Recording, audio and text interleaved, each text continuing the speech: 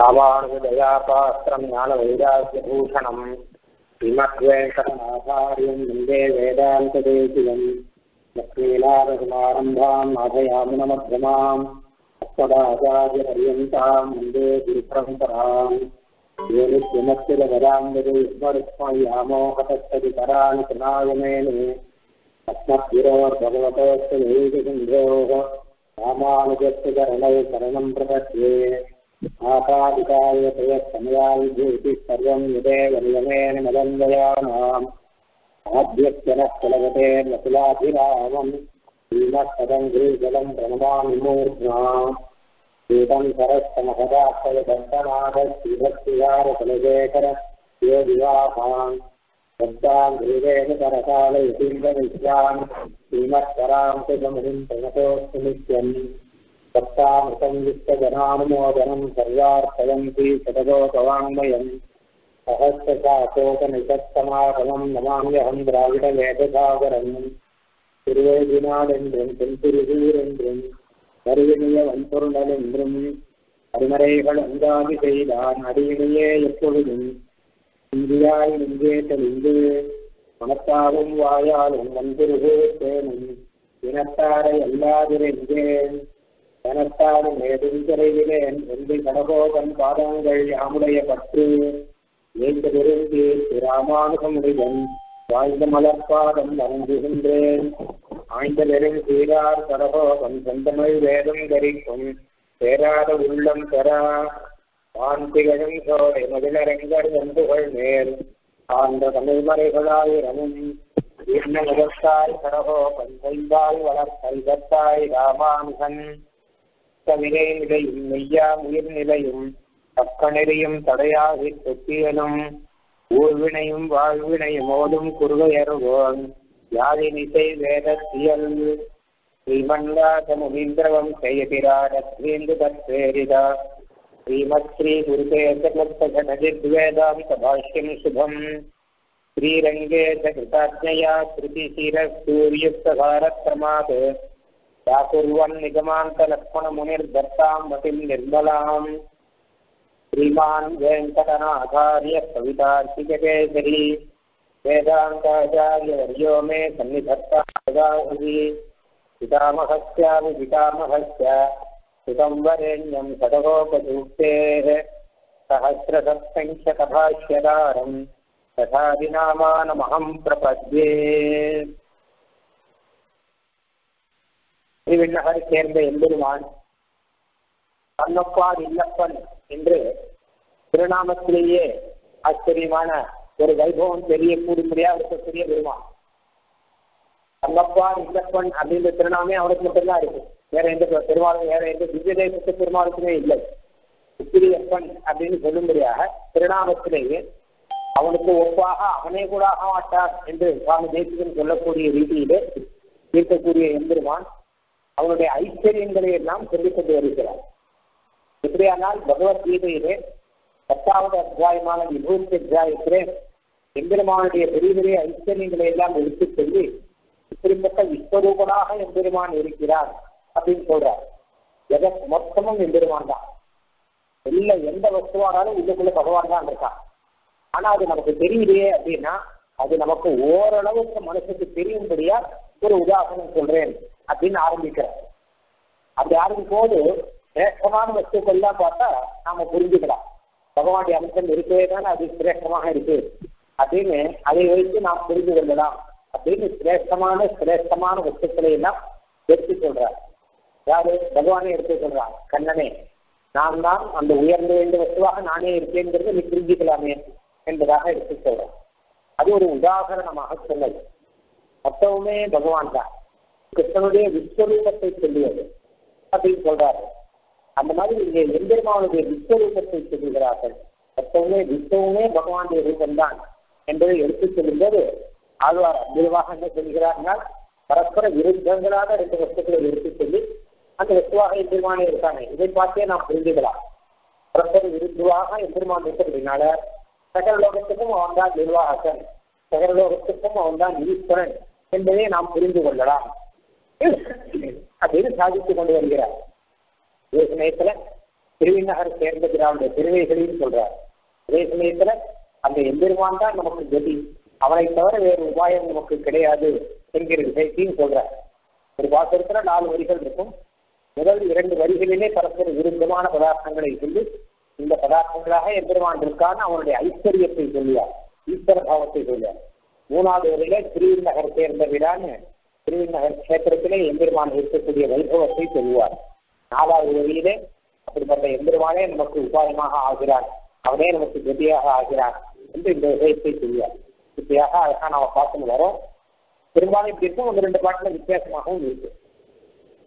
இப்போ இதுல கடைசி பாட்டு இப்ப பார்க்க போறோம். பத்தாவது பாசனம் அதுக்கு அடுத்தது பலசு இது ரெண்டு பாசனங்கள் இருக்கு. நிழல் வெயில் இருமை பெருமை குருமை நெடுமையுமாய் திகழ்வன நிற்பனவற்றுமாய் அவையல்லனுமாய் மழவாய் வந்துவாய் திருவின் நகர் மண்ணுதிரான் கடல் கலன்றி மற்றோர் கலைமண் இடம் காண்கின்றே எம்பெருமான் திருவிநகர் சேர்ந்த எம்பெருமான் நிழலாகவும் வெயிலாகவும் இருக்கிறான் திருவையாகவும் பெருமையாகவும் இருக்கிறான் புரிய அதாவது மிக குறுகியதாகவும் நெடியதாகவும் நீண்டதாகவும் இருக்கிறார். தரமான வஸ்துவாகவும் அச்சரமான வஸ்துவாகவும் இருக்கிறார். அதாவது அசையக்கூடிய பொருளாகவும் அசையாத ஸ்தாவரம் முதலான பொருளாகவும் இருக்கிறார். இப்படி எல்லா விதமாகவும் இருந்தால் இவை இல்லாமலும் இருக்கிறார். இவை ஆகாமலும் இருக்கிறார். அதாவது இதனாலே வரக்கூடிய தோஷங்கள் சட்டாகவும் எம்பெருமான் இருக்கிறான். ஸ்ரீநகர் நகரிலே பண்டுகள் எல்லாம் ரொம்ப சந்தோஷத்தோடு கூட நல்ல ரீங்காரம் பாடிக்கொண்டு ஆனந்தமாக தெளித்திருக்க அப்படிப்பட்ட திருநகரிலே சேர்ந்த பிரான் எம்பெருமான். அவனுடைய தகவல்கள் அன்றி அவனுடைய திருவடி இணைகள் தவிர வேறு எனக்கு உபாயம் எதுவும் கிடையாது. ஆன்மீன்களே எனக்கு கிடையாது எமக்கு கிடையாது. இதை நீங்களே பார்த்துக் கொள்ளுங்கள் என்பதாக ஆழ்வார் இங்கே சாதிக்கிறார் இதுல முதல்ல விருத்தமான வஸ்துக்கள் நாலு சொல்லியிருக்கார் ஒன்று நிழல் வெயில் அடுத்தது சிறுமை பெருமை அடுத்தது குறுமை நெடுமை அடுத்தது சுழல்வன நிற்பன அப்படின்னு நாலு சொல்லியிருக்கேன் இந்த நாளையும் சேர்த்து பில்லாம் சொல்லும்போது ராஜா தப அல்ப மகத்து தீர்க்க சிரஸ்யா சராசரங்களை பிரகாரமாக உடையவனாய் அப்படின்னு ரெண்டு வேலை இருக்கு சேர்த்து மொத்தமாக திருப்பம் சொல்லிடும். நிழலாகவும் வெயிலாகவும் எம்பெருமான் இருக்கான் இது பரஸ்பர விருது வெயில் இருந்தால் நிழலுக்கா நமக்கு தெரியும். இது ரெண்டுமே பெருமை சேர்க்கக்கூடிய வஸ்துகள். அதாவது ரெண்டு நமக்கு தேவையான வஸ்துகள். எப்படி ஆச்சரியமா வெயில் ஒன்று எப்படி என்று அவன் கிடைத்தான் அப்படின்னு உண்மையிலே அது ஆச்சரியமான விஷயம். கேட்டா வேதத்தெல்லாம் இதை பற்றி அழகாக வரும் சூரியன் அப்படின்னு ஒருத்தனை படைத்து அவனுடைய வெயில் நமக்கு இருக்கும்படியாக எந்திரமான் அழகா கொடுத்துருக்கா என்பதாக வரும். அதாவது மூணு படைத்தானா எந்திரமான் சூரியன் சந்திரன் அக்னி. அது மூணு தேஜஸ் அதுக்கப்புறம் தேஜஸ் பார்த்தா நிறைய தேஜஸ் நட்சத்திரம் இதெல்லாம் நல்லா இருக்கு அதெல்லாம் இருக்கட்டும். நமக்கு பரம உபகாரமா இருக்கக்கூடிய தேஜஸ்னா மூணு. சூரியன் சந்திரன் அக்னி. அது இது என்ன பண்ணானா பகவான் யோசிச்சு பார்த்தானா ரெண்டும் பூலோகத்துக்கு வைக்கணும் ஒன்றும் இன்னொரு பூலோகத்துல ரொம்ப கல்வி வைக்கணும் அப்படிலாம் யோசிச்சு பார்த்தாங்க. சூரியனை பூலோகத்தில் விட்டுட்டு அக்னி வேலையா ரொம்ப கல்வி வச்சா என்ன ஆகும் யோசிச்சு பார்த்தேன் ஜனங்கள்லாம் இங்க தாங்காது சூரியனுடைய ஆபரம் இருக்குது வெயில் அதை தாங்காது அதனால சூரியனை ரொம்ப தண்ணி வச்சுருக்காங்க அக்னி எங்க வச்சானா நமக்கு பாப்பம் பண்றதுக்கெல்லாம் அக்னி தான் தேவையா இருக்கு அதனால அக்னி அக்னி தான் நம்மளால வைக்க முடியாது. அதனால அக்னி இங்க வச்சாங்க இப்போ சூரியன் எந்த அளவு திட்டத்தில் இருக்கோ நமக்கு வெயில் கொடுக்கக்கூடிய அளவு. சூரியனுடைய வெயில் இல்லாமல் வச்சுக்கோங்க. அப்போ நம்ம ஜீவிக்க முடியாது. சூரியன் வெயில் ரொம்ப கொட்டிக்கலாம் வச்சுக்கோங்க. அப்போ நம்மளால ஜீவிக்க முடியாது. வெயில் அப்படிங்கிறத கரெக்டா வெயில் இதுதான் வெயில் கிடையாது ரொம்ப சூரியன் கிட்ட போட்டு அது வெயில் சொல்ல முடியாது இடத்துக்கு நம்ம இருக்க மாட்டோம் அதாவது சூரியனுடைய குடும்பம்னு ஒன்று சொல்றா. விஜயானத்துல அதுல சூரியனை சேர்ந்த கிரகங்கள் இருக்கும்போது அதுல மூணாவதாக இந்த பூமி அப்படிங்கிறது இருக்கு. நாலாவதாக செவ்வாய் அப்படின்னு. அந்த செவ்வாய்க்கு போகுது தான் ஏகப்பட்ட குளிர் இருக்கும். இதெல்லாம் வெயில்லாம் உண்மையா இருக்காது. ஒரே குளிர் தான் நிறையா இருக்கும். அப்ப அங்க போய் மனுஷன் ஜீவிக்க முடியுமா அப்படின்னு பார்த்து கொண்டு இருக்கிறாங்க ஜீவிக்கலாம் ஓரளவு ஜீவிக்கலாம் பார்த்துட்டு இருக்கான் ஆனா இந்த அளவு ஜந்துக்கள்லாம் அங்க இருக்கிறதா தெரியல. ஏன்னா ஜந்துக்களுக்கு தேவையான உயிர் இங்க கிடைக்கின்றது. அதனால அங்கெல்லாம் போய் பார்த்து மனுஷன் வந்து சூரிய வெயில் இல்லாமல் ஓரளவு ஜீவிக்கணும். அது எவ்வளவு தூரம் சாத்தியம் என்னங்கிறது பார்க்கணும் இல்லை இந்த பக்கம் மூணு வருஷம் சூரியனுக்கு அந்த பக்கம் நாலாவது. இந்த பக்கமா போன வச்சவங்க ரெண்டாவது போனோம்னா கொசுங்கிடுது அது ஒரு சொன்னீங்க யாரும் போகணும்னு வந்து பிளான் பண்ணல. அந்த பக்கம் தான் போட்டு பார்த்துட்டு இருக்காங்க தவிர சூரியன் கிட்ட இந்த பக்கம் போகிறதுக்கு யாரும் திட்டமே பண்ணல. இன்னும் கனவு கூட காணல யாருமே. ஏன்னா இது பொசிக்குது அப்படின்னு. அப்போ எத்தனை ஆச்சரியமாக பகவான் நம்ம பொசிங்கி போகாதபடியும் வச்சிருக்கான் அதே சமயத்துல சூரிய வெயிலே படாம இருந்தாலும் அதுவும் நமக்கு கஷ்டம். ஆனால் திட்டமான ஒரு வெயில் நமக்கு படும்படியாக பூமியை அந்த அளவு தூரத்துல வச்சு அதுக்கப்புறம் இந்த ஒரு ஏற்பாடு இருக்கக்கூடிய சூரியனுக்கு பூமிக்கு இருக்கக்கூடிய தூரம். அது எந்த மாதிரி இருக்கணும் எந்த மாதிரி சுழற்சியில் இருக்கணும் அது எல்லாம் அழகா ஏற்பாடு பண்ணியிருக்கோம். அது வேதம் அழகா சொல்றது எதச்சவாட்சரச்ச பிரசாசனே யாசி யாவா திவ்யோ விதிருத புஸ்தகா ஏதத் விதிருதே புஸ்தகா எதச்சவாட்சரச்ச பிரசாசனே யாசி சூர்யா சந்திரமசோ மிருகோ திஷ்டதா அப்படின்னு ஒரு அழகா சொல்லு. அக்ஷரம்னு பேர் பிரம்மத்துக்கு பரமாத்மா சிவன் நாராயண வேதத்துல அக்ஷரம் சொல்றது இந்த அக்ஷர பிரம்மத்தினுடைய அப்படின்னா சூரியன் சந்திரன் பூமி ஆகாசம் எல்லாம் இருக்கும். அவனுடைய சங்கல்பத்தில் இருக்கான் மொத்தமும். அப்படி சங்கல்பித்து பகவான் வந்து இதெல்லாம் ஏற்பாடு பண்ணியிருக்கான். அதனால நமக்கு என்ன கேட்டா ஆச்சரியமான விஷயம் நமக்கு பகவான் அனுகிரகத்தான கிடைச்சிட்டு என்ன கேட்டா வெயில் அப்படிங்கிறது கிடைக்கும் சூரியனுடைய பிரகாசம். யாருக்கு பிரகாசம்? நமக்கு வந்து மற்ற வஸ்துக்கெல்லாம் பிரகாசமே கிடையாது. இங்க இருக்கும் நட்சத்திரங்களுக்கும் இந்த மாதிரி வஸ்துக்களுக்கு சில வஸ்துக்களுக்கு மட்டும்தான் பிரகாசம். தேஜஸுக்கு மட்டும்தான் பிரகாசம். அதுவும் சூரியனுடைய பிரகாசம் நமக்கு ரொம்ப தேவையாக இருக்கு. அது தேவையான நமக்கு கிடைத்து கொண்டு இருக்கிறது வெயில் இல்லைன்னா மனுஷன் ஜீவிக்க முடியாது வெயில் இல்லைன்னா ஆரோக்கியம் இருக்காது. வெயில் இல்லைன்னா நல்ல புத்தி கிடைக்காதா? நமக்கு நல்ல புத்தி வரதுக்கு காரணமே சூரியனுடைய வெயில் தான் அப்படின்னு காயத்ரி மந்திரம் சொல்லுகிறது. என்னுடைய வெயில் மூலமாக ஜியோ யோனம் அதே அப்படிங்கிறது நம்மளுடைய தூண்டி நடத்துகிறவன் யார்? எந்திரமான் தான். எந்திரமான் சூரியனுடைய வெயிலை நமக்கு கொடுத்து நம்முடைய புத்தியெல்லாம் தூண்டி நடத்தி கொண்டிருக்கிறான் சூரியனுடைய வெயில் இல்லைன்னா வைக்க இல்லை புத்தியே இருக்காது. வெயில் உடம்புல பட்டாதான் நமக்கு வந்து ஞானம் வருது ஆனாதான காலகாத்தால் எழுந்து படிக்கணுங்கிற. ராத்திரி வேலையில படிப்பதை காட்டிலும் பகல்ல படிக்கிறது நல்லது. இல்லை சிறந்த வெளிச்சங்கிறது இருக்கும் வெளிச்சத்துல படிக்கணும். முன் காலத்தில் ஆட்சியில் படிக்க முடியாது. இப்போ வந்து என்னென்னமோ லேட்டெல்லாம் போடுறா. எல்லாம் இருக்கட்டும் இயற்கையான சூரியனுடைய ஒரு வெளிச்சம் இருக்கும்போது அப்பதான் நாம வந்து படிக்கணும். அதே மாதிரியா? ஆரோக்கியம். வெயில் நம்ம உடம்புல பட்டாதான் நம்ம உடம்புக்கு ஒரு ஆரோக்கியம் அப்படின்னு இருக்கும். வெயில் சரி சரீரத்துல படலை அப்படின்னா நிழலே இருக்குன்னு இருந்தால் அது உடம்புக்கு நல்லது இல்லை அப்படிங்கிறதும் எல்லாரும் சொல்றோம் அதுக்காக சன் பாஸ் அப்படின்னா வேற பேர் வச்சுருக்கோம். ஏன்னா உள்ளுக்குள்ளேயே உட்காந்துருந்தார் விஷயம் சாதாரண வெளியிலையும் உள்ளேயும் போயிட்டு இருக்கான் சில பேருக்கு ஆகும் முக்கலாம் நிறுத்தணும்னா உள்ளுக்குள்ளேயே உட்காந்து போயிருக்கும் அப்போ என்ன பண்றது கேட்டா கட்டாயம் சன் பாஸ் எடுத்தா அப்படின்னு. அப்ப ஜலத்துல குளிக்கிற மாதிரி சூரியன்ல கொஞ்ச நேரம் குளிச்சுட்டு வரணுங்க அதனால இந்த வெயிலுங்கிறது அத்தனை ஆச்சரியமான விஷயம். லோகத்துக்கு சகல லோகத்துக்கும் ஆரோக்கியத்தை கொடுக்கக்கூடியது.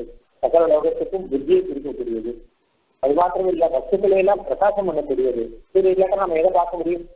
சூரியனுக்கு சம்ஸ்கிருதத்தில் ஜெகத் சக்ஷுவும் பேர் ஜெகத் சக்ஷம் நமக்கெல்லாம் கண் இருக்கு நம்ம எல்லாருக்கும் சேர்த்து இருக்கக்கூடிய கண்ணா சூரியன்.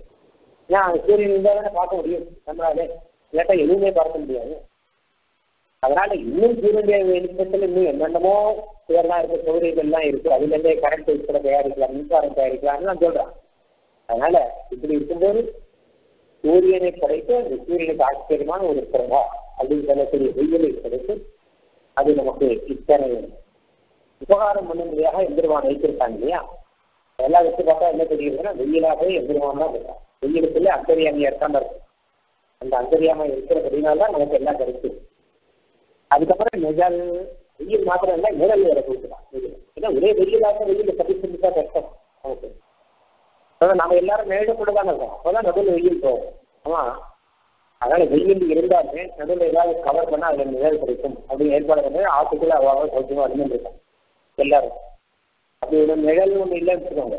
அதாவது வெயிலானது அந்த வருஷத்துக்கு வீட்டுக்கு உள்ளுக்குள்ளேயும் போகும். அப்படின்னு உதாரணத்துக்கு என்ன சொல்றாங்க கேட்டா அந்த வெயில தடுத்துடுறோம் நம்ம ஆனா வெயிலுடைய சுபாவம் தடுத்தா கூட உள்ளுக்குள்ளேயும் போகும். எங்கேயும் வெயில் தான் இருக்கும். அப்படின்னு வச்சுக்கோங்க. நம்ம பன்னெண்டு வெயில் என்ன பண்ண முடியும்? நம்மளால. நல்லபடியாக நிழல் இருக்கிற போச்சிருக்கும் குறிப்பாக மரத்தினுடைய நிழல். என்ன கேட்டா நாமளா ஏற்பாடு பண்ணக்கூடிய நிழல் இது வீடெல்லாம் கட்டி இதுல வெயிலுடைய தாக்கம் அதிகமா இருக்கும். ஆனா பச்சை பச்சையாக நல்ல பெருசாக மரம் வளர்ந்த அப்புறம் குறிப்பாக ஆறு மரம் அரச மரம்லாம் சொல்லு அந்த மாதிரி மரத்தினுடைய மேல போய் உட்காந்து ஆரம்பமா போயிடும் நல்ல குளிர்ச்சி வெளியில நிழல் இருந்தா கூட உள்ளுக்குள்ள வெளியில வெயில் இருந்தா கூட உள்ளுக்குள்ள அந்த நிழல்ல குளிர்ச்சியாகவே இருக்கும். இல்லையா? அதனால எத்தனை ஆச்சரியம் பாருங்க. ஒரு பக்கம் பார்த்தா வெயில் இருக்கு. ஒரு பக்கம் பார்த்தா அந்த வெளியில கூட இந்த நிழலானது குளிர்ச்சி கொடுக்கிறது. மரத்தினுடைய நிழல் ரெண்டையுமே எதிர்வான் ஏற்பாடு பண்ணியிருக்காங்க? பரஸ்பர விருப்பமா இருக்கக்கூடிய அந்த சொன்னேன் இல்லையா? ஆலமரத்தினுடைய நிழல் விசைய வெயில் அதிகமாக அதிகமாக அந்த நிழல்ல குளிர்ச்சி போயிடும் நல்ல வெயிலாக இதுலயும் நல்ல குளிர்ச்சியாக அது ஒரு ஆச்சரியம். இந்த ஆலமரத்தினுடைய ஆனா அப்படி ஆச்சரியமான குளிர்ச்சியான நிலைமையும் கொடுத்திருக்கான் எந்திரன். அதனால்தான் போன பாசுரத்துல எந்திரமானுடைய திருவடி மேலை பற்றி சொல்றத தனத்தால் நிழலையும் சொல்ற ஏன்னா நிழல்னா அந்த குளிர்ச்சி கவனி எந்திரமான் தன்னுடைய திருவடி கீழே நம்மளை வச்சிருக்காங்க திருவடி மேலை கொடுத்தாங்க என்ன அர்த்தம் கேட்டா இந்த மேலை தவிர எந்திரமான் திருவடி கீழே இருப்பதை தவிர வெளியில் எங்கேயா போனா வெளியில அந்த திருவடி கீழே வந்தா மேலாது வெளியில சம்சாரம் இல்லை. திருவடி தான் நடன் நிழல் இருக்கு என்பதாக சொன்னார். அந்த ரீதியில பல இடங்கள்ல பார்த்தோம்னா எம்பெருமான் திருவடிய நிழலுக்கு சமமாக சொல்றதுண்டு எத்தனையோ ஸ்லோகங்கள்லாம் இருக்கு. நிழல் மாதிரி குளிர்ச்சியாக பெருமான் இருக்கான் வாசுதேவ கருச்சாயா அப்படிங்கிற வாசுதேவன் அப்படின்னு பெருமான் உச்சச்சாய உச்சத்தினுடைய நிழல் அந்த நிழல் கீழே இருக்கும். திருவிடி கீழே இருக்கும். ராசாபதி ஸ்திதிகரம் பரணம் பிரதோகா അങ്ങനെ ഒരു ശ്ലോകം ചെറുതായിട്ട് വിചാരിച്ചില്ല സാഗതഛായാകരീഷ സരസാനി ഫലാനി ചം സാഗതൃഗവൃന്ദശകുന്തകാനാം കിം നാമനാശിപകതാം നിജമധ്രുമാണാം வேதங்களே விரட்சங்களாம் அந்த விரட்சங்களுடைய நிழலாக பகவான் இருக்கார் அப்படின்னு அர்த்தம். விஷ்ணோகத்துல வருது. நிழல் மாத்திரம் இல்லை. இந்த விரட்சங்களுக்கு சகலமே பகவான் தான். வேதங்களே விரட்சங்கள்னு இருக்குது அந்த விரக்ஷங்கள்ல நிறைய சிலைகள்லாம் இருக்கு சாக்கைகள். அது மாதிரி வேதத்துக்கும் நிறைய சாக்கைகள்லாம் இருக்கு. ஏகப்பட்ட சாக்கைகள் இருக்கு. வித்தியாலயம் அதுக்கு உள்ளுக்குள்ள எத்தனையோ சாக்கைகள். எப்படியானால் மரத்துல சாக்கைகள் நிறைய இருக்கும் அது வேதத்திலையும் சாக்கைகள் நிறைய இருக்கு. மரத்தினுடைய சாக்கைகள்ல நிறைய பக்ஷிகள்லாம் இருக்கு. இந்த பக்ஷிகள்லாம் அந்த பழத்தெல்லாம் சாக்கை சௌக்கியமா ஜீவிக்கிறது இல்லையா? அந்த மாதிரி இந்த வேதத்தினுடைய சாக்கைகள்ல நிறைய தேவர்கள்லாம் இருக்காங்க. பக்ஷிகள் மாதிரி.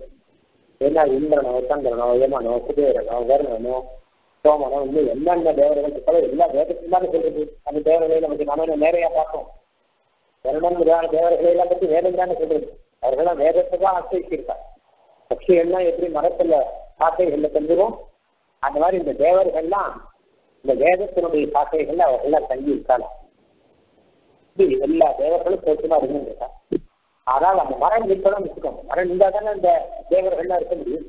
மரம் நிக்கணும்னா என்ன வேணும் அப்படின்னு கேட்டா இந்த மரத்தில் பட்சிகள்லாம் போட்டுமா இருக்கணும்னா என்ன வேணும் அப்படின்னு கேட்டா ஒன்று நல்ல வேறு இருக்கணும்.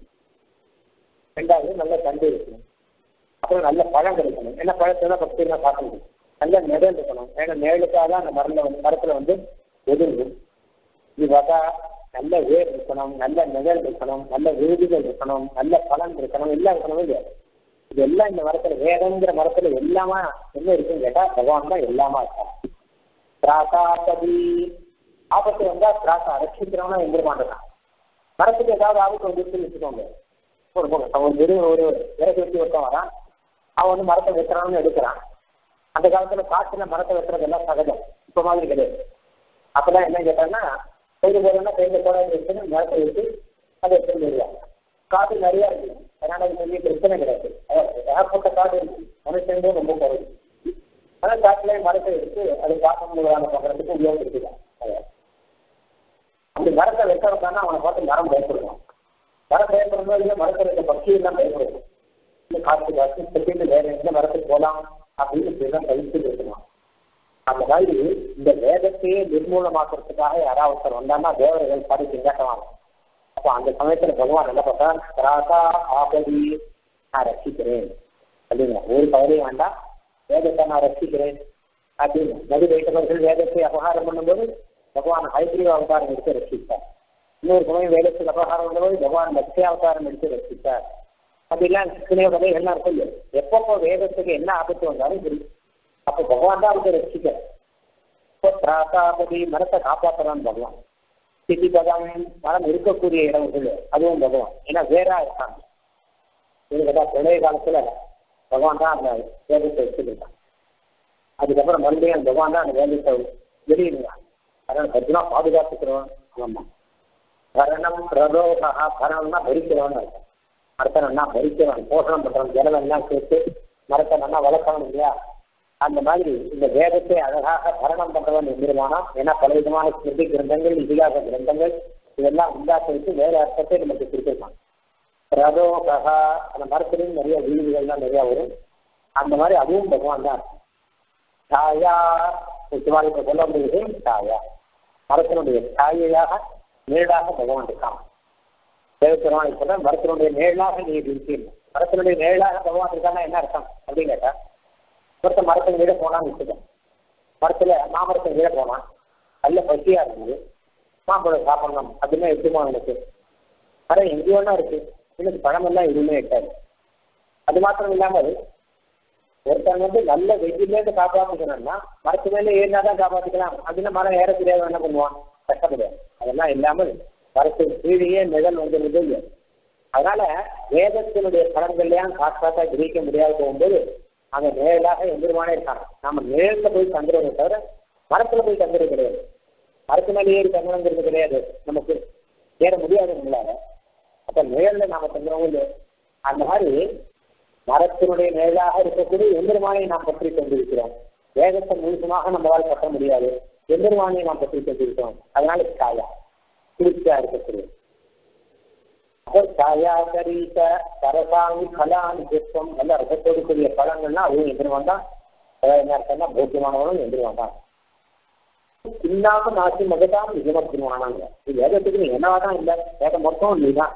அப்படின்னு வேதத்தினுடைய தாயும் நீதான் வேதத்துக்கு சகலமுமே நீதான் அப்படின்னு அவர் செய்கிற அந்த மாதிரி நிதியில நிகழ் நிகழ்ங்கிற ஒரு ஆச்சரியமான ஒரு வசுவாக எம்பெருமான் இருக்கான் இருந்திர வசுவாக ஆச்சரியமான நிழல் வெயில் சிறுமை பெருமை சிறுமைனா பெருமைன்னு சொன்னா கூட சின்ன வஸ்து வச்சுக்கலாம். பெருமைனா பெரிய வஸ்து வச்சுக்கலாம். அதாவது ரொம்ப சின்ன வஸ்து வச்சுக்கலாம்.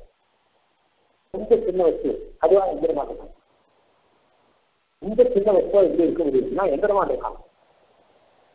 நமக்கு கண்ணுக்கு தெரிகிற வசதியே ரொம்ப சின்ன வஸ்துக்கு இரண்டு பேர் வச்சிருக்காங்க. நியாய சாஸ்திரத்துல அதாவது அது அதுக்கு ஒரு உதாரணம் ஒன்று சொல்றா வெளியில வந்து சூரியனுடைய வெளிச்சம் வரும்போது அது பொறிப்பிடிக்கிறதே தெரியுமா?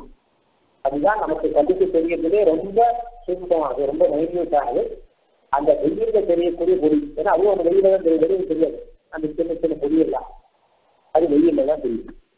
பாழ்வார் அந்த பொடி எதிர் வந்தாங்க? அந்த பொடியை எதிர் வந்தாங்க? எத்தனை பொடி கண்ணு தெரியுது? வெயில் என்ன வழியா வெயில் வரது தெரியும் வெறும் வெயில போனாலும் அது தெரியாது. எண்ணெய் வழியா வெயில் நெருங்கி பார்த்தாங்கன்னா அதில் பெருப்பெருமையே நிறைய தெரியுது அந்த அளவு சின்னதுனா அந்த சின்ன வஸ்து எதிர்வாங்க பெருமை பெருமை. இல்ல பெரிய வஸ்து. அப்படின்னா ரொம்ப பெரிய வஸ்து கூட ஆகாசம். ஆகாசத்துல எத்தனை பெரிய வஸ்து? ஆகாசத்துல பூமி இருக்கு. ஆகாசத்துல சூரியன் இருக்கான் ஆகாசத்துல சந்திரன் இருக்கான் ஆகாசத்துல நட்சத்திரங்கள்லாம் இருக்கு. ஆகாசத்துல சப்தம் இருந்துருக்கு இல்ல ஆகாஷ்லாம் இருக்கு. அப்போ ஆகாசம் தான் நமக்கு தெரிஞ்ச வரைக்கும் ஓரளவு பெருசுங்கிறது ஆகாசம் தான் அப்போ அந்த ஆகாசமாகவும் எந்திரமா தான் அப்ப ரொம்ப சின்ன வச்சு ரொம்ப பெரிய வச்சு எல்லாமே எந்திரமான் தான். அப்படின்னா அப்ப நடுவில் இருக்க வச்சு கேட்க வேண்டாம். சகலமே எந்திரமான் தான் அப்படின்னு அர்த்தம். இந்த சின்ன வசதியும் நிர்வாகம் பண்றான் பெரிய வசதியும் நிர்வாகம் பண்றான் ஒரே மாதிரி தான். இயல் பெருமை பெருமை பெருமை நெடுமை மாய். ஆனா பெருமைனா ரொம்ப திருப்பி வருது நெடுமைனா நீட்ட அதாவது அளவுல ரெண்டு விதம் உண்டு. சின்னது பெருசுன்னு ஒரு அளவு அப்புறம் புரியது நீண்டது அப்படின்னு நீளத்தை எடுத்து கணக்காக்கி ஒரு அளவு அந்த விட சின்ன தொடு பெரிய தொடுங்கிற ஒன்று அந்த மாதிரியா? அந்த குறுமையாகவும் நெடுமையாகவும் அதாவது குறுகிய வச்சாகவும் பெரிய வச்சாகவும் இப்படியாகவும் எம்பெருமான் தான் இருக்காங்க. அதுதான் நிற்பன மற்றுமா அது மட்டும் அல்ல மற்றும் இன்னும் திழல்வன நிற்பனவா திழல்வனா போய் கொண்டிருக்கும் வச்சுக்கள் சிற வச்சுக்கள் நிற்பனா அச்சர வச்சுக்கள் தெரிக்காமல் இருக்கக்கூடியது தெரிக்கிற வஸ்துகள் யாருன்னு கேட்டா? மனுஷர்கள் மிருகங்கள் பட்சிகள் குழு புத்திகள் முதலானதெல்லாம் சரிகார வஸ்து இருக்குதான் தாவரங்கள். முதலான அச்சேதன வஸ்துக்கள் எல்லாம் இந்த சராசரம் அப்படின்னு சொல்லுவோம். தெரிக்கிறதும் அச்சரிக்கிறதுமாக அப்படி சராசர வஸ்துக்களாக சந்திரமான் இருக்கான். ஏன்னா சரிக்கிற வஸ்துகள் தரிக்க முடியுது நடக்க முடியுது அதே ஒரு அழகான விஷயம். அவர் நடக்கும்படியான சக்தியை கொடுத்து பகவான் அதை கூட இருந்து நிர்வாகம் பண்ணிட்டு இருக்கான் சின்ன சின்ன சின்ன புலி பூச்சி கூட அழகா நடந்து போயிருக்கு எறும்பு கூட அழகா நடந்து போயிருக்கு அச்சரமான வச்சு இருக்கு. இந்த பர்வதங்கள் அதுக்கப்புறம் வந்து விரக்ஷங்கள் முதலானதெல்லாம் அதுக்கெல்லாம் அதெல்லாம் தெரிக்காம இருக்கிறதா இல்லை மரங்கள் மரங்களே நடக்க இருக்க நம்ம என்ன இருக்காது பேசி பார்க்கணும் மரங்கள் தான் நடக்க ஆரம்பித்தா நமக்கு என்ன ஆகும்? நல்ல வேலையா மரங்கள் நடக்க நல்ல வேலையா பர்வதங்கள்லாம் நடக்கல. பர்வதங்கள்லாம் நடக்க ஆரம்பிச்சா நம்ம நமக்கு ஏற்றுக்காகும் அப்போ அச்சர வஸ்துவை அச்சர வஸ்துவாக எந்திரவான் வச்சிருந்ததே பெரிய பாக்கியம். சரவஸ்துவை சரவஸ்துவாக எந்திரவான் வச்சிருந்ததே பெரிய பாக்கியம். அப்படி இரண்டையும் நிர்வாகம் பண்றாங்க. சுழல்வன நிற்பன பற்றுமாய். சுத்தமாக எந்திரவான் இருக்கான். அவன் எல்லாமாய் இதெல்லாம் அல்லன். இதுவா இருக்கான்னு சொல்லிட்டு இது இல்லைங்கிறது ஏதா இருக்கான் வேதா இல்லாமல் இருக்கான். வெயிலா இருக்கான் வெயிலா இல்லாமல் இருக்கான்னு ஒண்ணு வந்து கேட்டுக்கணும் அப்படின்னா என்ன அர்த்தம்னா நேரலா இருக்கான்னு அர்த்தம் புரியுது இருக்காங்க என்ன கேட்டா நேரலை நிர்வாகம் பண்றான் வந்துருவான் நேரத்துக்குள்ள அந்தரியாம இருக்கான். நேரலை நிர்வாகம் பண்றான். அப்படிங்கிறது புரியுது. நேரலை இல்லாமல் இருக்கான்னா என்ன அர்த்தம் கேட்டான்? நேரலா இருக்கான்னா அப்ப நேரில் இருக்கிற தோஷங்கள்லாம் அவனுக்கு வந்துடும் அப்படின்னு நினைச்சுட்டோம். அப்படி அவன் வேண்டாம் அதாவது என்ன கேட்டான்? ஒரு ஜீவாத்மா இருக்கான்னு சொன்னாங்க ஜீவாத்மா மனுஷனா இருக்கான் அப்படின்னா அப்ப மனுஷ சரீரத்தினாலே அந்த ஜீவாத்மாவுக்கு என்ன சுத்த துஷ்டங்களோ ஞானங்களோ எல்லாம் அவனுக்கு இல்லைன்னு இருக்கும் மனுஷ சரீரத்தில் எது வர முடியாதோ அதெல்லாம் அவனுக்கு கிடையாது சில சுத்த துன்பங்கள்லாம் மனுஷ சரீரத்தில் வர முடியாது. இந்த வர முடியாத சுத்தங்கள்லாம் அவனுக்கு வராது. அப்படின்னா மனுஷனா இருக்கான் அப்படின்னா ஒரு ஆத்மா மனுஷனா இருக்கான் அப்படின்னா மனுஷ சரீரத்துல வரக்கூடிய சில துக்கம் மட்டும்தான் வரும் ஞானம் மட்டும்தான் வரும் இஷ்டம் மட்டும்தான் வரும் மற்ற எல்லாம் வராது அப்படின்னு அர்த்தம். மிருகமா இருக்காங்க மிருக சரீரத்துல இருக்கக்கூடிய சுத்த துக்கங்களை ஞானம் மட்டும்தான் வரும் மற்றதெல்லாம் வராது அப்படின்னு அர்த்தம். அதேன்னு கேட்டாங்கன்னா அந்தந்த சரீரத்தில் இருக்கும்போது அந்தந்த சரீரத்தினாலே வரக்கூடிய குணமோ தோஷங்களோ அது வரத்தான வரும் அப்படின்னா ஆனா எந்திரமான் இத்தனை வருஷத்துக்குள்ள சரீரமா இருந்தா கூட இதனுடைய பாதிப்பு எதுவும் அவனுக்கு கிடையாது. இதனால வரக்கூடிய குணதோஷங்கள் எதுவும் எந்திரமானுக்கு கிடையாது. குறிப்பா தேசங்கள் கிடையாது. என்ன கேட்டாங்கன்னா இப்ப சரீரம் போச்சுன்னா ஆத்மா என்ன பண்ணும்? ஆத்மா இங்க நிற்காது உடனே ஆத்மா கிளம்பி போகும்னா சொல்றாரு? அந்த மாதிரி பிரச்சனையெல்லாம் எதுவுமே எம்பெருமானுக்கு கிடையாது. ஏன்னா சகல தோஷங்களுக்கும் எதிர்த்தத்தாக இருக்கக்கூடிய எம்பெருமான் அகில ஹேய பிரச்சனீக அப்படின்னு சொல்றாரு. சகல ஹேயத்துக்கும் பிரச்சனீகமாக எதிர்த்தத்தாக இருக்கக்கூடிய ஒரு எம்பெருமான் இங்கே தான் இருப்பான்.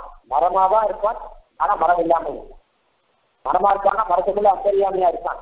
மரத்தை நியமனம் பண்ணிட்டு இருக்கான் நாம எப்படி சரீரத்துக்குள்ள ஜீவாத்மா இருக்கோம்? அந்த மாதிரிதான் மரத்துக்குள்ள பரமாத்மா இருந்துருக்கான் மரமாகவே தான் இருக்கான். ஆனால் அந்த மரத்தினாலே வரக்கூடிய பாதிப்புங்கிறது எதுவுமே கிடையாது. அது நமக்கு முடியாது நம்ம சரீரத்தை எடுத்தா சரீரத்தினால வரக்கூடிய பாதிப்பு நமக்கு உண்டு. அதனால சுகத்துக்கும் ஒரு சரீரத்தை அதிகத்தா வலிக்கிறதா இல்லையா? ஆத்மாவுக்கு தானே வருகிறது சரீரத்தில் அதிகத்தா ஆத்மாவுக்கு தானே வருகிறது ஆனா உள்ள இருக்கிற எந்திரவானுக்கு வருகிறது அவனே அந்த சரீரத்துக்குள்ள இருந்தாக்கிற மரத்தை வச்சுனா கூட எந்திரவானுக்கு வலிக்காது அப்படின்னு அதனால அவனுடைய பாதிப்பு இல்லாமல் இல்லாமல் இருக்கிறதுனாலே அந்த வஸ்துவா இல்லைன்னு சொல்லலாம் வஸ்துவாவும் இருக்கான். ஆனா ஒத்துவா இல்லாமல் இருக்கான். இதை வேதனையை அழகா சொல்றது அந்தரியாமை பிராமணத்துல. எந்த வஸ்துக்குள்ள இருக்கானோ அந்த வஸ்துக்குள்ள அந்தரியாமை அமிர்தமாக இருக்கான் அப்படின்னு சொல்லுது. அமிர்தம் தான் தோஷம் இல்லாமல் இருக்கான் அப்படின்னு அர்த்தம். சுகர்வனமாய் அவையல்லனுமாய் இதை வந்து எல்லாம் சொல்லும்போது அவையல்லனுமாய்.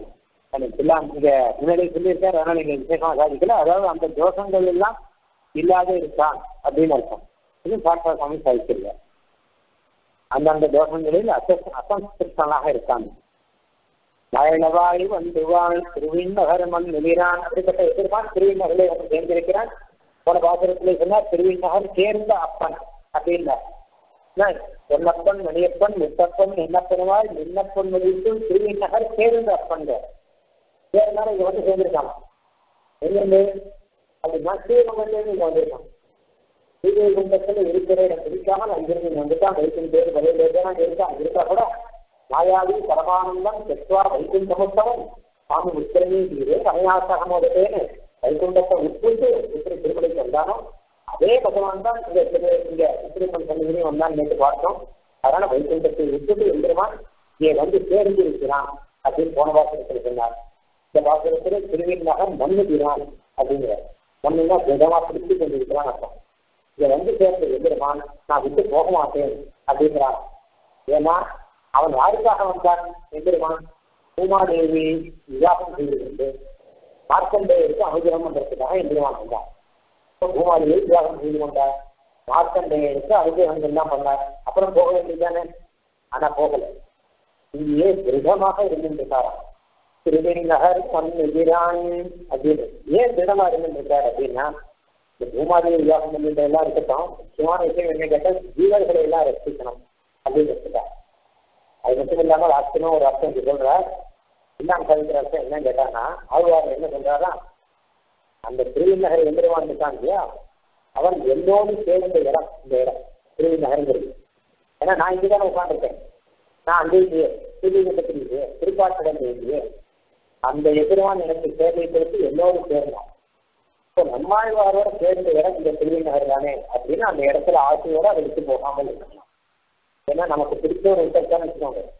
அவரோட நம்ம எப்போ சேர்ந்தோம் சேர்ந்த இடம் எதுவோ அந்த இடமும் நமக்கு பிடிச்சு விடும் அப்புறம் அதை விட்டு நம்ம புரியவே மாட்டோம். எப்பவுமே இல்லையா நான் அவரை சந்திச்சேன் முதல் முதல்ல அப்படின்னு சொல்லிட்டு அந்த இடத்த நம்ம கொண்டாடிட்டு போக முடியும் எம்பெருமான் திருப்பார்கடல பிடிச்ச காரணம் என்ன அப்படின்னு கேட்டேன் பிராட்டியோட அவதா பிராட்டி அவதாரம் பண்ணா அந்த பிராட்டியோட கூட எம்பெருமானுக்கு விவாகம் நடந்த இடம் திருப்பார் கரையில தான் நடந்தது.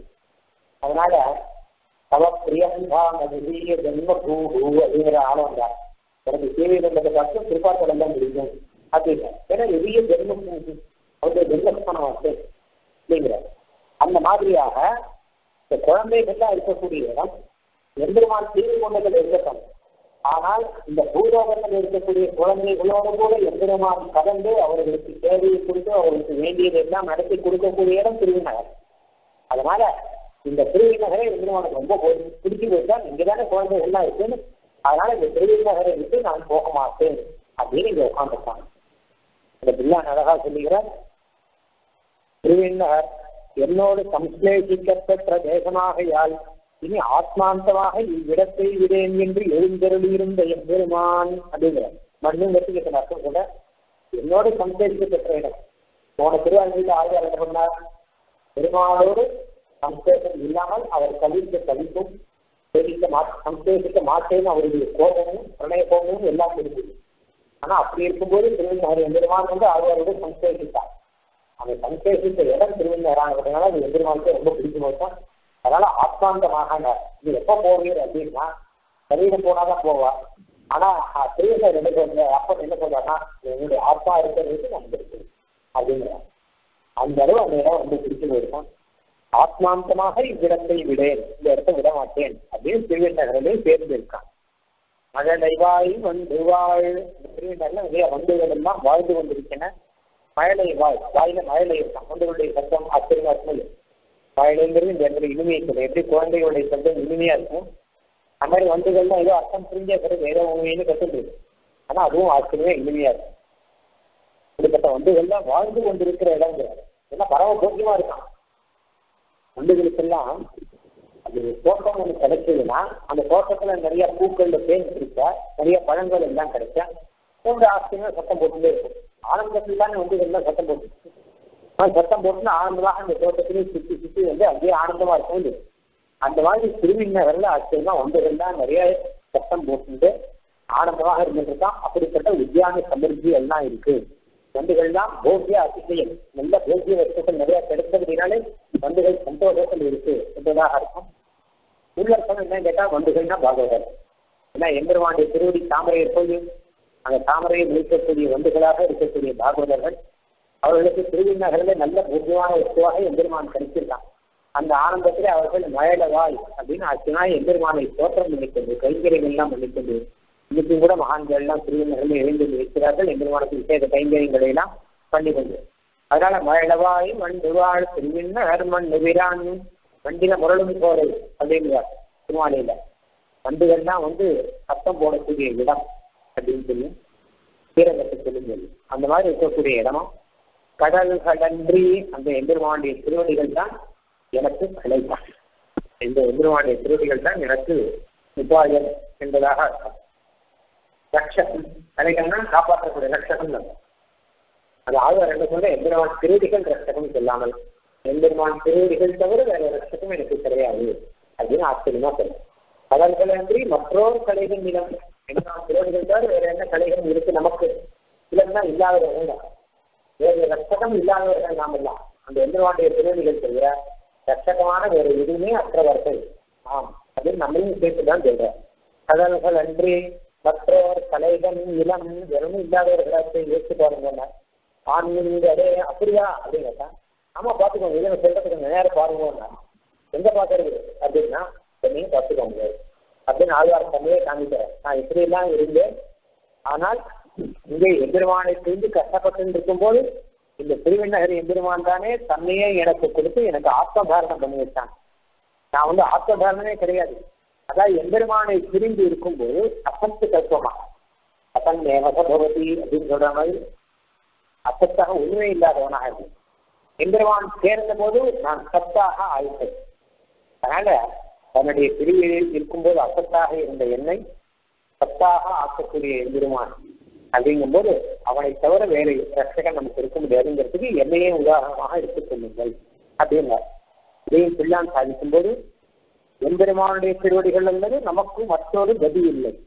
அவனுடைய கடாட்சம் பெறுவதற்கு முன்பு என்னுடைய சத்தை இல்லாமையாலும் அவன் கடாட்சித்து அருளினவாறே நான் உலனாகையாலும் நமக்கு அவனல்லது கதி இல்லை என்னுடன் எல்லாருக்கும் பிரசிக்கலாம் அப்படிங்கிறார். நீங்க ரொம்ப அழகா சொன்னா என்னையே பார்த்து வச்சுக்கோங்க மயர் வர மதிநல மருமைகன் எவனவன் அப்படின்னு எம்பெருமான் மதிநல மருகை என்னை வச்சிருக்கிறதுனால நான் திருவாய்மொழி பாடியிருக்கேன் நான் முன்னாடி எம்பெருமானுடைய இந்த கடாட்சம் இல்லாத போது நான் இல்லை. நான் என்ன நான் யாருமே யாருக்குமே தெரியாது. நான் இல்லை. எம்பெருமானுடைய கடாட்சம் வந்த பிறந்தான் நான் வந்து நம்ம ஆழ்வார் அப்படிங்கிற எல்லாருக்கும் நம்ம ஆழ்வார்னு சொல்ல முடியாது.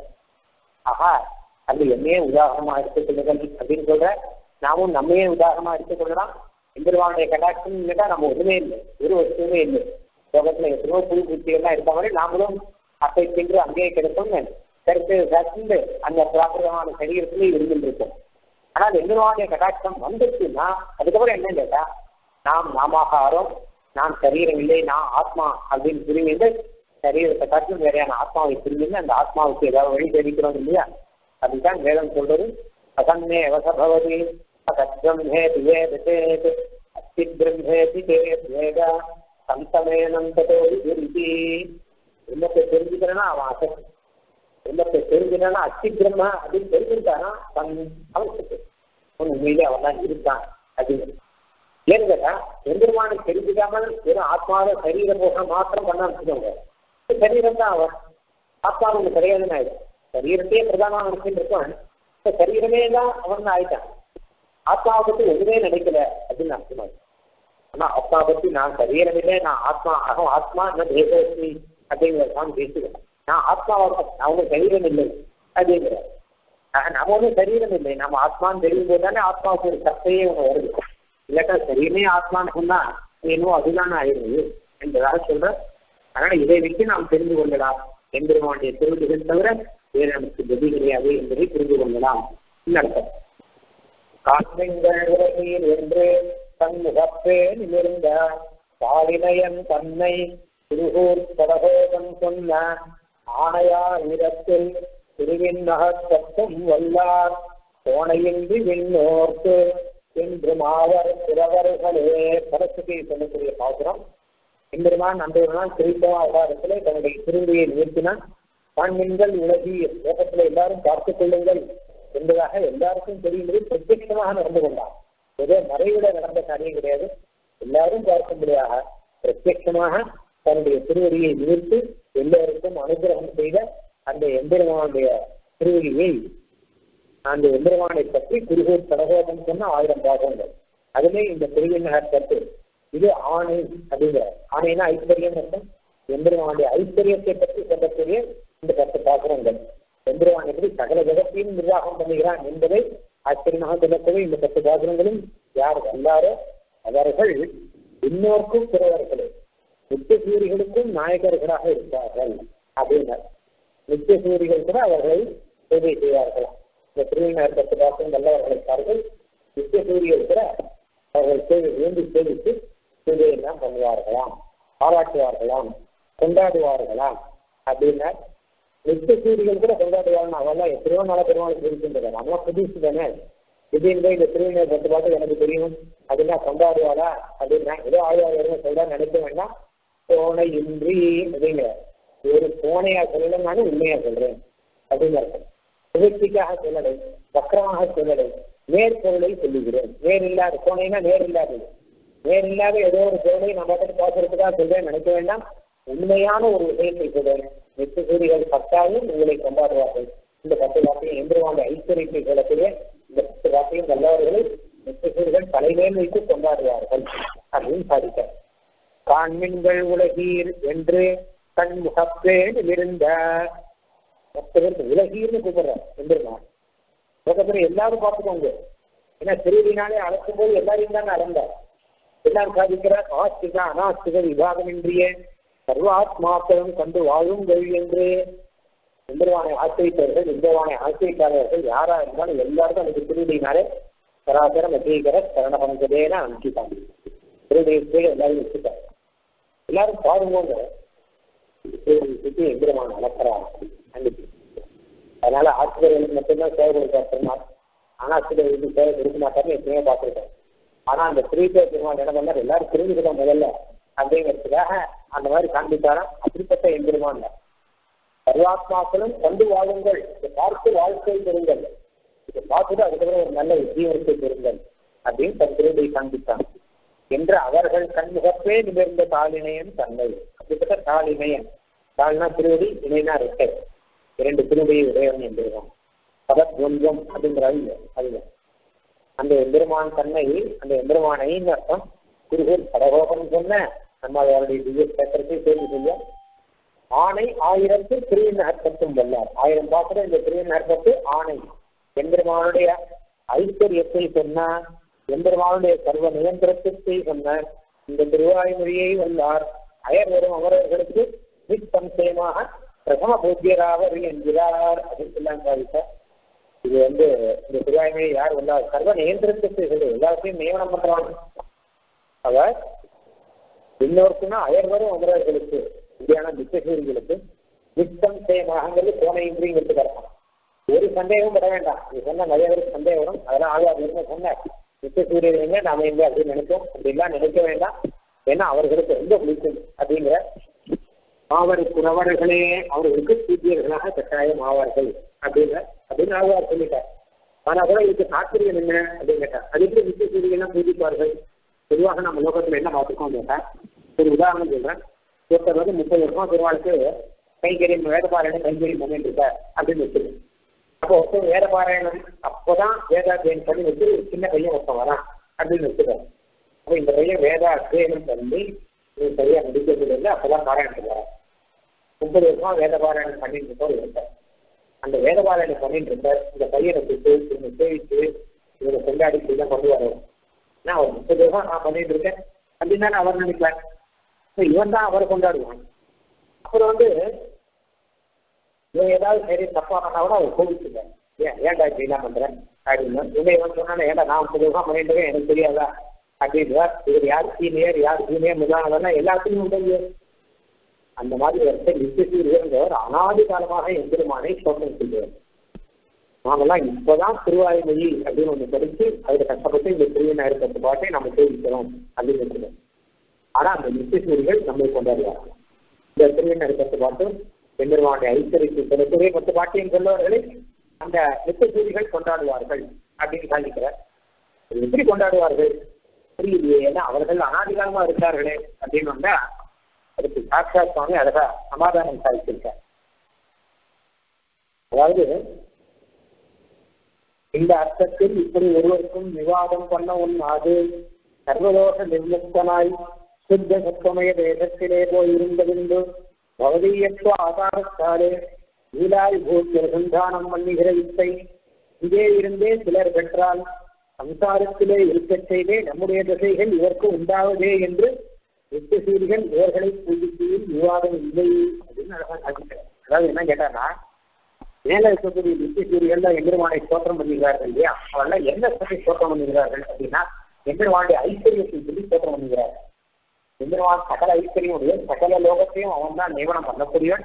எந்த சின்ன வஸ்து ஆனாலும் சரி எந்த பெரிய வஸ்து ஆனாலும் சரி எந்த லோகம் ஆனாலும் சரி எல்லாவற்றையும் எம்பெருமான் தான் நியமனம் பண்ணி கொண்டிருக்கான்னு எம்பெருமான் இந்த ஐஸ்வர்யத்தை சொல்லி அவனை ஸ்தோத்திரம் பண்ணுகிறார்கள் அவர்கள் என்ன நினைச்சிருக்காங்க இந்த விஷயம் வந்து தங்களுக்கு தெரியுமே தவிர மற்றவர்களுக்கெல்லாம் தெரியாது. ஏன்னு கேட்டா சகல ரோகத்தையும் எதிர்வான் தான் நியமனம் பண்றானோ சின்ன சின்ன வஸ்துக்களை எதிர்வான் தான் நியமனம் பண்றானும் பெரிய பெரிய வஸ்துக்களை எதிர்வான் தான் நியமனம் பண்றானோ அவன் நியமனம் இல்லாமல் எதுவுமே நடக்காது அப்படிங்கிற விஷயம் நிச்சயத்துக்கு தெரியும். ஆனா நமக்கு தெரியாது இல்லையா? அதனால பூலோகத்துல இருக்கிறவருக்கு இதெல்லாம் தெரியாது அப்படின்னு அவன் நினைச்சிட்டு இருந்தான். அதுக்கு ஆழ்வார் வந்து செய்கின்ற பத்து வசனத்தை பூலோகத்தில் இருப்பவர்கள் சொல்லும்போது அவர்கள் ஆச்சரியப்படுகிறார்களாம். என்ன? நமக்கு தெரிஞ்ச விஷயம் பூலோகத்தில் இருப்பவர்களுக்கு எப்படி தெரிஞ்சது?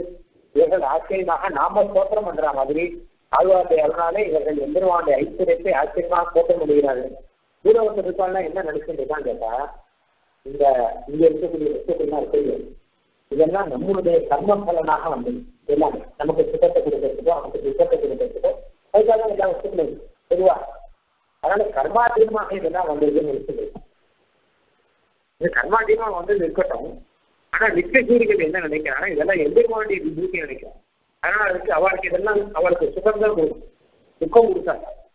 அதாவது எம்பெருமானுடைய விபூதின்னு பார்த்தா எல்லா வஸ்துவுமே சுகம் தான் கொடுக்கும். நம்மளுடைய கர்ம பலன் பார்த்தா எல்லா வஸ்துமே துக்கம் தான் கொடுக்கும். இதுதான் இருக்கு இதான் நியதி. பாஷ்யக்காரர் அழகா ஒரு உதாரணம் சாதிக்கிறேன் இது புத்தி பாஷ்யத்துல ஒரு ராஜா ராஜகுமாரன் ஒருத்தர் இருந்தானா அவனை வந்து எதிர்நாட்டு ராஜா தான் திருச்சி சிறையில போட்டான் இதை இவனுடைய சிறையில போட்டான் எதிர்நாட்டு ராஜா ராஜாவுக்கு வந்தா இவர்கள் மொத்த பேரும் அடிச்சு கொடுத்தா ராஜ்யத்தை புரியுமா அந்த ராஜகுமார மாசம் தான் அவன் வந்து ஜெயிலு போட்டு கதை போட்டு வெளியில ஒரு ஒருத்தவன் பண்ணிட்டான். அவன் அந்த சிறையில உட்காந்து அழுதுட்டு இருக்கான்.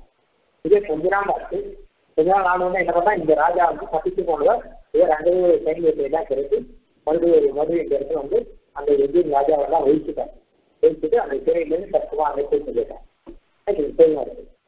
எனக்கு தவிர அதுக்கப்புறம் இந்த குமாரன் என்ன பண்ணானா கேட்டா யார் யார் தப்பு பண்றாலும் அவர்களை அந்த சிறையில் அடைக்கிறானோ அடைக்கும் போது அந்த சிறை வந்து பார்க்குறாங்க. அப்போ அவங்க என்ன தோணும் கேட்டா இந்த சிறை தான் ஒரு காலத்துல நான் கட்டுப்பட்டு இருந்த இடமாக இருந்தது. ஆனால் இப்போ பாருங்க எனக்கு இந்த சிறைக்கு நிர்வாகத்தை நான் தான். ஏன்னா என்னுடைய கட்டில் என்ன? எங்க அப்பாவுடைய பூமியில் இது. எங்க அப்பா ராஜாவா இருக்க அவருடைய செல்வம் இது. அப்படின்னு அந்த மாதிரி பார்க்கும்போது தன்னுடைய அப்பாவுடைய ஐஸ்வர்யம் அப்படின்னு பார்க்கும்போது இந்த சிறைச்சாலை சந்தகம் இல்லை. ஆனால் அப்படி இல்லாமல் இருக்கும்போது இவருடைய கர்மா தீர்மா வரும்போது சிறைச்சாலை தண்டகமா இருக்கும் அந்த மாதிரிதான் இந்த சம்சாரமானது. நம்மளுடைய கர்மா தீர்மாக நம்ம பார்க்கும்போது நமக்கு தண்டகமாக இருக்கும். அதே சமயத்தில் எந்திரவானுடைய ஐஸ்வர்யம் இது. எந்திரவான ஆலோசனையும் பார்க்கும்போது நமக்கு ஆனந்தமாக இருக்கும். நித்தியசூரியன் தான் எந்திரவான ஐஸ்வர்யம் பார்க்கிறான் அதனால அவளுக்கு சம்சாரம் சம்சாரமே கிடையாது. அவன் நேரம் இங்க வந்தால் கூட அவளுக்கு சம்சாரமாக ஆகாது. நாமெல்லாம் நம்ம கர்மாதீனமாக இருக்கின்றிருக்கோம் அப்படி இருக்க ஆழ்வார் அழுத்தே இந்த பத்து பாசுரத்தினாலே இது வந்து எவ்விதமான ஐஸ்வர்யம் தான் அப்படின்னு புரிஞ்சுட்டு வச்சுக்கோங்க. அப்ப இந்த சம்சாரமும் நமக்கு வந்து வைகுண்ட மாதிரி பரம போகத்தை ஆனந்தத்தை தரக்கூடியதாக ஆயிடும். ஏன்னா எந்திரவானுடைய பூமி அதை நினைச்சு நித்தியக்குரியில் ஆச்சரியப்படுறாங்க நமக்கு தெரிஞ்ச விஷயம் அவளுக்கு கூட தெரிஞ்சு எடுத்துப்பாருங்க பூலோகத்தில் இருப்பாங்க சிறையில இருப்பாளுக்கு தெரிஞ்சு போயிட்டு எப்படி தெரிஞ்சு கேட்டா இந்த திருவிநகர் பத்து பாட்டுனால தானே அவர்களுக்கு தெரிந்தது அதனால அதை நினைத்து ஆச்சரியப்பட்டு நாம் பெற்ற பாக்கியம் இவர்கள் இப்படியே பெற்றார்களே. மேலே அந்த கிராமம் இப்படியே இருந்தே பெற்றார்களே. என்பதாக கொண்டாடுவார்களாம். அதாவது லீலாவி தூத்திருகின்றானும் வைத்து இங்கே இருந்தே சிலர் பெற்றார் சம்சாரத்தில் இருக்கச்சேவே நம்முடைய தசைகள் இதற்கு உண்டாகிறார் சம்சாரத்தில் இருக்கும்போது நிச்சயமாக இருக்கா பாருங்க. இல்லாமல் பூஜா எல்லாத்தையும் அனுபவிக்கிறா பாருங்க. அப்படின்னு அதை வச்சு ஆச்சரியப்பட்டு கொண்டாடுவார்கள் அப்படின்னு அப்படிப்பட்ட உயர்ந்ததான ஒரு ஞானத்தை இப்படிப்பட்ட உயர்ந்ததான ஒரு அனுபவத்தை நமக்கு கொடுக்கக்கூடியது இந்த திருவாய்மொழி இந்த திருவிநகர் திருவாய்மொழி.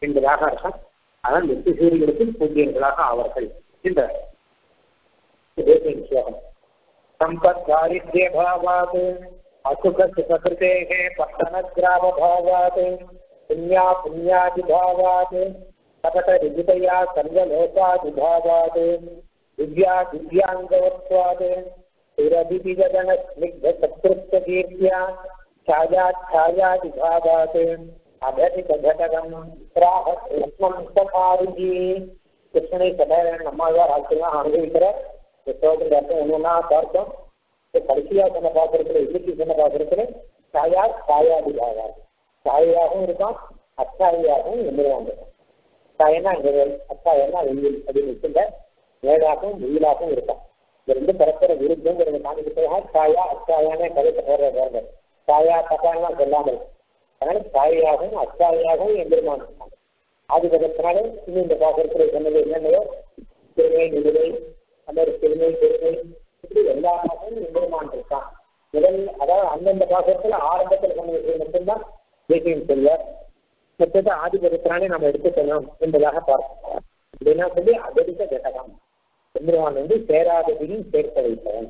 அரசர் விரும்புதன்களாக இருக்கக்கூடிய வஸ்துகளையும் நிர்வாகம் பண்றவன் அர்த்தம். புறாக கிருஷ்ணம் சதாரிகை லோகத்துல விருத்தமான விஷயத்துல யாராவது நிர்வாகம் பண்ணுவாளா? இதுக்கு என்னுக்கு நிர்வாகம் பண்றதா இன்னொன்று கிட்ட போக முடியாது. அதுதான் ஆகும். ஆனால் எந்திரவான் நிர்வாகம் பண்ணிக்கிறான் அந்தரியாமையா இருக்கான். அந்த வஸ்துவாகவே இருக்கான். அது விருத்தமா ரெண்டு பேருக்கு வேண்டியவன்னு சொன்னது கூட இருக்க முடியாது. அவனுக்கு வேண்டியதான் இவனுக்கு வேண்டியதா இருக்க முடியாது. அப்படின்னு தான் இருக்கு அப்படிங்கிறது விருத்தமான ரெண்டு வஸ்துவாகவே எந்திரமான் இருக்கான். அப்படிங்கிறது அவனுக்கு தெரியும் அப்படிப்பட்ட கிருஷ்ணனுடைய ஐஸ்வர்யத்தை சகாரியான நம்மாழ்வார் இங்கே அருளி செய்தார். அப்படின்னு இங்க சொன்னார் இது முக்கியமான ஒரு விஷயம்.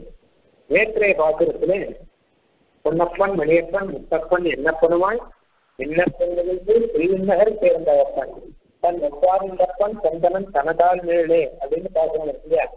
அதனுடைய அர்த்தத்தை நான் கொடுத்து இங்கே சாதிக்கணும் அதனுடைய அர்த்தம் இங்கே செய்ய வரணும் சில பேர் என்ன பண்றா ஆதிபுரத்தான் எடுத்துக்கலாம் அப்படிங்களா அதனுடைய அர்த்தத்தை எல்லா பாசத்தினுடைய அர்த்தத்தையும் சொல்லிட்டு வர்றார் ஒன்று ரெண்டு மூணு நாலு எல்லாத்தையும் சொல்லிட்டு வர்றார் ஆனா கடைசியில் அந்த ஒன்பதாம் பாசம் மாத்திரம் விட்டுட்டு பத்தாவது பாட்டுக்கு சொல்லியிருக்கேன் என்ன காரணம் அப்படின்னு கேட்டா ஒரு காரணம் என்ன அப்படின்னு கேட்டா இது எம்பெருமானுடைய சகல ஐஸ்வர்யத்தையும் சொல்றாரு இல்லையா?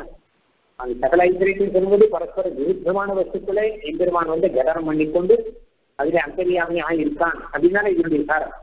அப்படி விருத்தமான வஸ்துக்களை ஒன்றும் அந்த பாட்டில் ஒன்பதாவது பாட்டில் என்ன சொல்றா திருவிநகர் எம்பெருமான் தன்னப்பார் இல்லப்பண்ண அவருடைய பெருமைகளை சொல்றதை தவிர இந்த மாதிரி விருத்தமான வஸ்துக்களை நிர்வாகம் பண்ணக்கூடியவங்கிற தாற்பயம் அது வரல அதனால அதை விட்டுட்டேன். அதை விட்டுட்டு மக்கள் சொல்றார் சரி ஆழ்வார் தான் அதையே இங்க சொன்னார் அப்படின்னு கேட்டா தர்மி நிர்தேசம் அப்படின்னு சொல்லுவாங்க. அதாவது விருத்தமான வஸ்துக்களை எல்லாம் இப்படி கடனம் பண்ணிக்கொண்டு நிர்வாகம் பண்ணிக்கொண்டு சகலேஸ்வரனாக இருக்கக்கூடியவன் யார்? அப்படின்னா திருவிநகரப்பன் தானே. அவனை சொல்றாரு அந்த அந்த திருவிநகரப்பனுடைய பெருமையை சொல்லணும் இல்லையோ? சொல்லிட்டு அப்புறம் இதையும் சொல்லணும். அதனால தர்மங்களை செல்லும் போது தர்மியும் சொல்லும் ஒவ்வொரு பாட்டிலையும் திருவிநகரப்பன் திருவிநகரப்பன் சேர்ந்துகிறான் திருவிழா மண்ணுகிறான்னு சொன்னா கூட அது அவருக்கு திருப்தி இல்லை.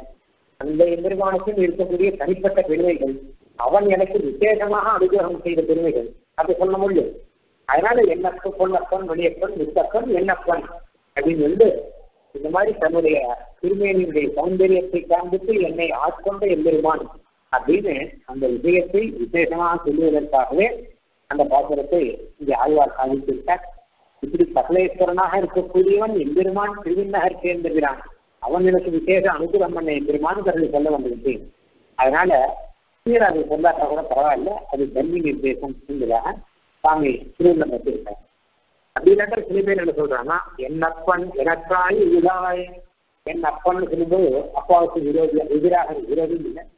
அப்பன் சொல்லும்போது அம்மா அப்படிங்கிறதான எதிர்பட்சத்தை இருக்கு. அந்த ரீதியில அப்பா அம்மான்னு சொன்னாங்க. அம்மாவே வளர்த்ததா தாய் அப்படின்னா பெற்றதா என்று சொல்லு. அதனால இதுலயும் அந்த கொஞ்சம் விருத்தமான தாயை அப்படிங்கிறது லேசாக இருக்கு. சரியோட இல்லைன்னு சொல்ல முடியாது. அதனால இதையும் எடுத்துக் கொள்ளலாம். ஆதிக்கத்தான எடுத்துக்கொள்ளலாம் என்று சில ஆச்சாரியர்கள் சொல்லுவார்கள். நான்தாலும் திருவிநகரத்தினுடைய ஒரு தனிப்பட்ட பெருமையை சொல்லக்கூடிய ஒரு ஆச்சரியமான பாசனம் ஆனபடினாலே இந்த சகல ஈஸ்வரன் சகல ஐஸ்வர்யத்துக்கு நியாமனாக நியாமகனாக இருக்கக்கூடியவன் அவன். ராக கிருஷ்ணம் சகாரிஹி அப்படின்னு சொல்லபடியாக இந்த கிருஷ்ணன் சொல்ற மாதிரி இந்த பாசனத்தில் இருக்கிறது தன்மை நிர்தேசம் எம்பெருமானத்திற்கு நிர்தேசம் என்பது சுவாமி தேசியுடைய தாற்பயம் என்று சொல்லுவார் இப்படியாக இந்த திருவினார் பாசனம் முடிந்தது அடுத்த திருவாய்மொழி. உடனே ஆட்சி எரோது கோர்த்ததும் ஒன்றவொன்றேந்தியதும் இரவு நீர் பொய்கையினாகம் காய்ந்ததும் உட்பட மற்றும் பல அறவி பள்ளி அந்தன் மாய வினைகளையே அலற்றி இரவும் நண்பகலும் தவிர்கிறன் என்ன குறை எனக்கே. அழ்வார் எம்பெருமானார் தேசிகன் திருவடிகளே சரணம்.